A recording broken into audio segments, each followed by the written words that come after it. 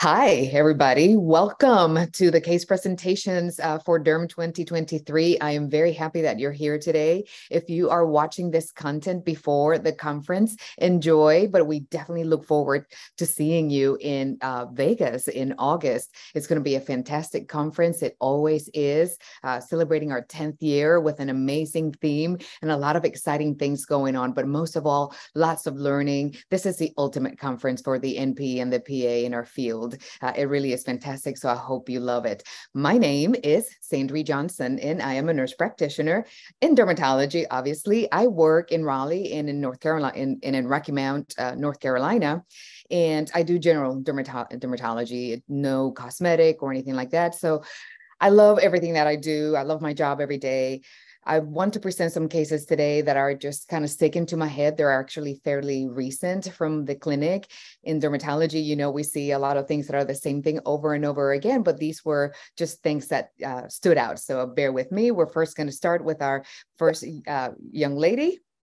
And this case is the mysterious skin tag. The mysterious skin tag. At the clinic, we had a 52 year old white female that presented with a bothersome skin tag typical uh, presentation, right? A lot of people come in with that. She denied any history of any trauma to the area. She hasn't had any uh, skin cancers, nothing that really concerned her. But this one little skin tag, even though it appeared benign, she wanted it removed. So she said it feel different. I said, okay, well, if you want it gone, let's remove it. This is what that little skin tag looked like. Not much to see there. I'm like, okay, I see it's in a frictional area. We'll kiss it goodbye. The problem is, is that when we submitted this for pathology, as I learned long time ago, I do not cut anything and throw it away. It goes to a pathologist. That is just a best practice that I can always give you. Don't throw things away. So when this pathology comes back, this past Friday, actually, uh, or Thursday, the uh, uh, Thursday before the 4th of July, it says that uh, the uh, uh, results are consistent with a focal dermal mucinosis and this was my face.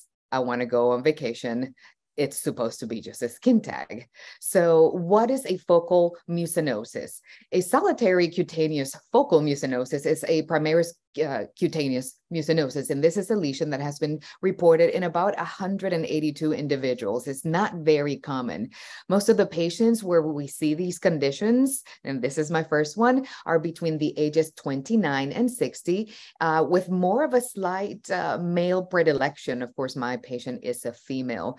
Uh, 52. Uh, the benign lesion usually shows up asymptomatic and it's either a dome-shaped papule or a little nodule somewhere in the extremities or the arms and the legs. For Our Lady, it was in the uh, left uh, axillary vault the appearance can vary from a whitish to red to flesh colored. Ours was whitish to flesh colored.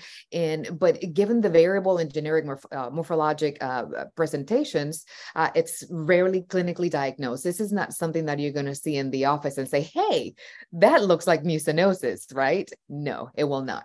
So the uh, predominant pathologic feature, what we would see in histology, is this encapsulated mucin, which is a hyaluronic acid complex in the upper dermis, and that can be visualized really with your standard H and E uh, uh, stain sections if you get to see those. Uh, I was uh, previously uh, uh, really fortunate that I was in a, uh, in a clinic that had a lab there, so I could see these things under the microscope. But I've never seen this one. But H and E uh, uh, stains, they are familiar with that. Um, and, but there are also some stains that can demonstrate uh, mucin, that is the your Alcian blue, the colloidal iron, or the toluidine blue. So the, that can be helpful in confirming. And this is what that would look like under the microscope, under this higher magnification of a colloidal uh, iron stain section, you can see that solitary cutaneous mucinosis with that deep blue staining that is confirming the composition in the upper dermis being mucin. So what's the big deal? What is it about this? It's still just a skin tag, right? Especially the Friday before the 4th of July. So what do we do? We asked Dr. Google what we always do, right? Dr. Google's always right. So once again, going back to focal mucinosis, uh, this is a term that was actually coined back in 1966 by Johnson and Helwig. Not me Johnson, a different Johnson. Now, later in 2004, Chen uh, referred to the condition as a solitary, soft, uh, fibroma-like polypoid mucinosis, very much like what my lady had, right? More of a polypoid uh, lesion. But then fast forward in 2016, and quote suggested that this lesion should be called a solitary cutaneous focal mucinosis to differentiate that from patients that actually have multiple of these lesions, because there is a problem with having multiple lesions. Uh, so what is it that I do? I remove just one of these lesions on this patient, but now reading more and more of these articles in Google, uh, I can see that a lot of times patients uh, will present with multiple lesions. And sadly, those patients have been found to have these lesions associated with other systemic disorders like scleromyxoderma, uh, lupus, thyroid disease, etc. So then I start going, I guess I'm going to have to delay my vacation a little bit more because then it became, of course, reasonable that we need to investigate further. So to perform laboratory data is something that is standard when you see something like this show up in the body, especially if there are multiple uh, of them. So I call the patient and say, hey, listen, we found this uh, unusual or unexpected finding in your little skin tag and told her what the association was.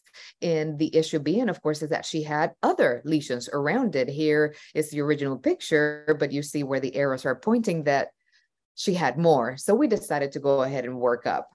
Uh, we gave her a laboratory workup, and this includes a whole lot of stuff. You want to know, you want to do your ANA and your standard lupus stuff, right? With your anti double stranded DNA, your uh, anti RNP, a CBC, a CMP, an A1C, a scleroderma uh, workup, uh, also Smith antibody, your Sjogren's workup, and thyroid as well. So for her, it actually turned out to be pretty easy. So I don't have any kind of uh, great uh, uh, ending here other than her lab work was completely normal. So she was happy to see that. I was happy to see that. We uh, when we removed the lesion the lesion was completely gone. So we decided that we're not going to do any more treatment. She's just going to watch the area keep an eye on the spots. If she starts uh, developing uh, many more and we feel they might be related we will probably go and remove some more and continue to check. But overall she's 52 she's healthy um, and uh, so we're going to leave it at that that. And that is the end of the mysterious skin tag. I do have some references here if you wanted to look into uh, this condition of mucinosis. Lots of references, sorry. Um, how about we go into case number two? This case actually involves two people and they came into the office in 2022. So in 2022, I am calling that the year of the painful crumbling nails. Nobody wants that. So here's what happened. These two ladies, two separate ladies, they're unrelated. They don't know each other. They're not um, uh, coming together or nearby. Actually, they came almost one year apart. They came to the office and they both were complaining of their nails breaking apart, crumbling, lifting, snagging on everything, uh, very painful.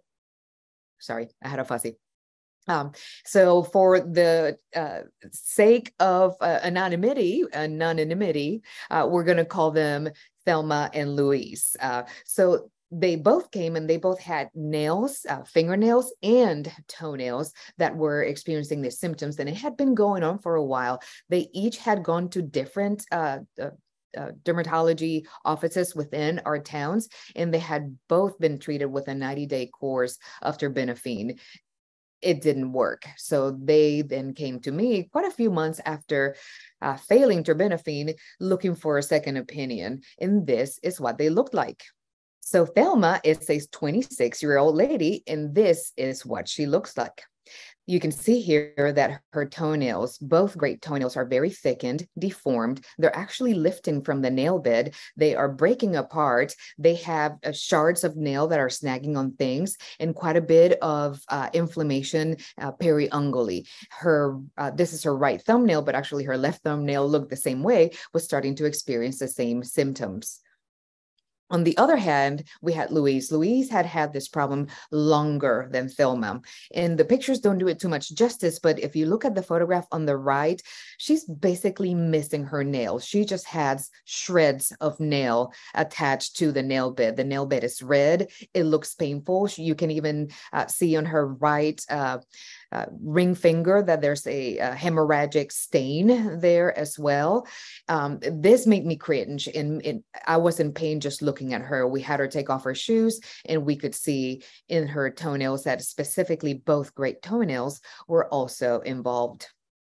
So yeah, I know somebody already treated with terbinafine, but this is, you know, you know, horses are horses and zebras are zebras. So we cultured anyway. And this is just a representation of one of the cultures that indeed there was no fungal growth there after four weeks. So this was not onychomycosis. And then I remember, wait, wait, wait. I've seen this before. I've seen a couple of things that look like this. I've seen lichen planus that looks like this. And I've also seen alopecia areata that looks like this. They don't have any uh, signs of hair loss either, and there's nothing on their skin. But I'm pretty sure this is lichen planus. Lichen planus of the nail is basically a diagnosis of exclusion. But do I remember what do I do with it? No. So back to Dr. Google I go and I started studying, of course, about this uh, nail lichen planus and what I can do about it. Number one, we know that uh, uh, lichen planus is actually a mucocutaneous disorder uh, that affects the skin. It has those uh, uh, papules that are flat uh, that tend to be purple and tend to be itchy and neither one of these ladies had any involvement of their skin. We looked into their mouth. There was nothing in their mouth either. So for some people it's just involved in the nails.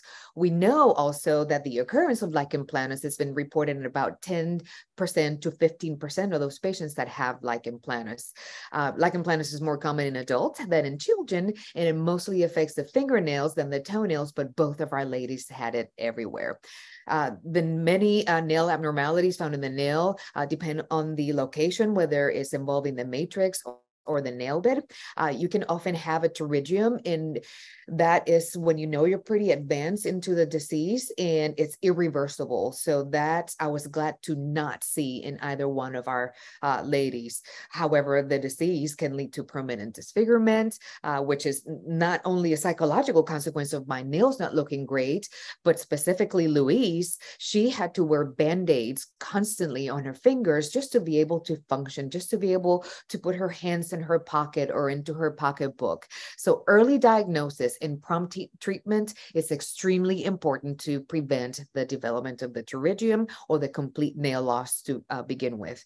This is not an easy diagnosis because you have to differentiate it from these other disorders, whether it's psoriasis or uh, uh, areata and of course onychomycosis and especially hard if you don't have any other findings like in the skin you know in the back and the uh, uh surfaces of the wrist or the ankles or the mouth that can clue you into a lichen planus like disorder we know that systemic corticosteroids are the first line treatment but the outcomes are completely inconsistent. So I'm looking for options at this point uh, for these uh, two ladies. Well, initially for uh, for uh, Thelma, she came at the beginning of 2022. Louise uh, didn't come until the end of 2022.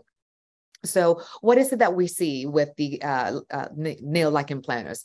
The typical characteristics uh, can include uh, include nail atrophy, uh, longitudinal ridging and fissuring, distal splitting, uh, trachyonychia, the erythema of the lunula, nail plate thinning, onycholysis, onychorrhexis, subungual hyperkeratosis, pterygium, all these words that are very hard to pronounce, you'll find them in the itty bitty nail pretty horrible. Um, it can, we also already mentioned that it can uh, occur independently or in association with the mucocutaneous uh, version.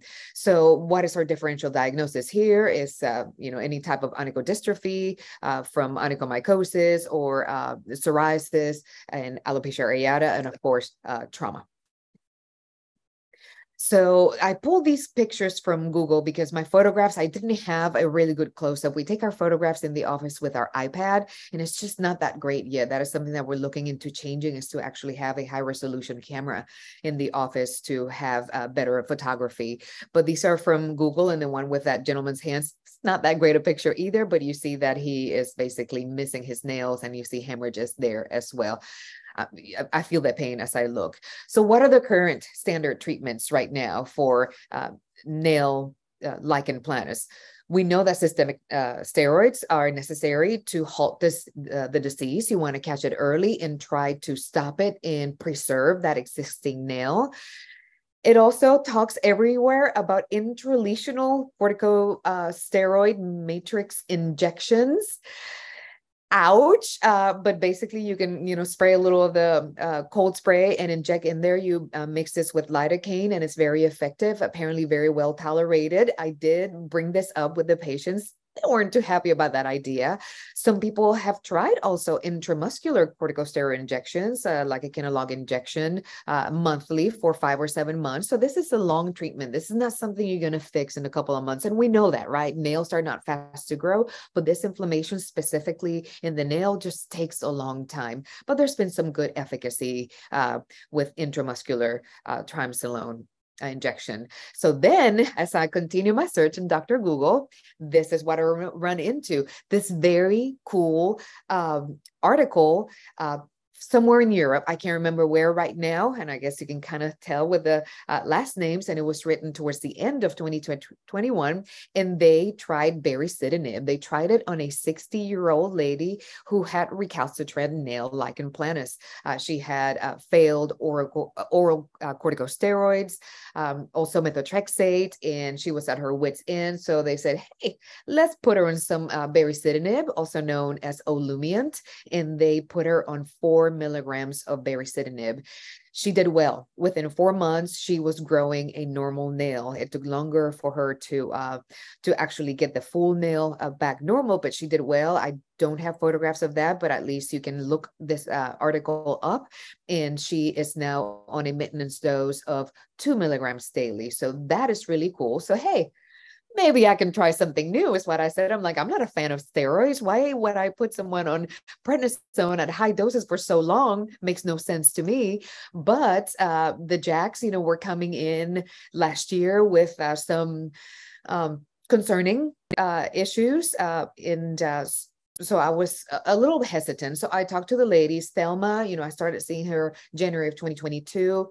Uh, I did not have this as an option. So actually you know, we had talked about JAK inhibitors, but she didn't want to try any kind of injection and she was trying to get pregnant. So uh, the JAK inhibitors were not even an option for her. She opted to actually go on oral prednisone. Louise, on the other hand, she's 40. She also had zero interest in getting any kind of injection in the nail. And she didn't want oral or injectable prednisone either because she had experienced bad side effects. She talked about the insomnia. She said she was this close to being psychotic with uh, uh, uh, prednisone in the past. So her being otherwise healthy with no history of any kind of thrombotic uh, episodes or cardiovascular risk, she actually opted to go on baricitinib four milligrams daily, and that was back in December of 2022 we gave her some samples and we got her started even though we really don't know what the pathogenesis of lichen of nail lichen planus is, well, lichen planus altogether is not completely understood, but it is speculated to be a T cell mediated autoimmune disorder, and it has many potential uh, triggers that play a role. Play a role. We also know that baricitinib can inhibit that T cell proliferation and the differentiation of T, uh, Th1 and Th7 T cells, and it does it via the JAK1, JAK2 pathway. And what that does is that it downregulates those cytokines that tend to be upregulated on people that have inflammatory disorders. It does it inside the immune cell via the JAK-STAT pathway. I'm not going to go heavy into baricitinib and how to use it because there's no indication for nail-like lichen but there is a package insert with other indications. And I did put a link here that you can copy and paste into your um, or or at least write it into your browser and look at the package insert for uh, baricitinib. So let's go back then to Thelma. Thelma did not go on baricitinib. She stayed on prednisone. I don't like putting pe- people on prednisone at a fairly high dose. I consider 40 milligrams daily a fairly high dose. And she stayed on that dose for four months. Uh, and then by the time we saw her again, she was getting some new, healthier growth. So we dropped her dose down to 20 milligrams daily. We did that another four months. Um, and then we finally dropped down to 10 milligrams and she's maintained her trend towards improvement. She's still on that dose right now. She is uh, not has not been able to conceive yet, but hopefully working hard at it. And this is what she looked like in May. I'm not sure if you remember the uh, pictures that, that we that you first saw, which were actually in um, uh, I believe January of 2022. Uh, her nails don't look a whole lot different, but in the toenails, you start to see a little sliver of new nail coming in, and that thickened nail is starting to get pushed out that got me excited. And that's when we said, let's stay, let's just drop it a little bit because the 40 is a little bit much. And let's go down to 20. So then if you fast forward o- over to January of this year, then you can see an amazing change. Her uh, thumbnail uh, looks incredible. Her right great toenail is in really good shape. The left has mostly some discoloration that has remained there, but it doesn't look bad at all. She's actually really, really happy. And this is what she looked like just a couple of weeks ago, where it continues to get better. And finally, that left great toenail is actually catching up with the other ones. You see the uh, uh, thumbnail is actually pretty back, pretty much back to normal. So she's staying on the 10 milligrams for now. Not sure where we'll go from here. I guess maybe continue trying to drop it into a very low dose. On the other hand, we had Louise. In Louise, even though she was tolerating baricitinib pretty well at the four milligrams daily, she was not seeing the changes that she was hoping for.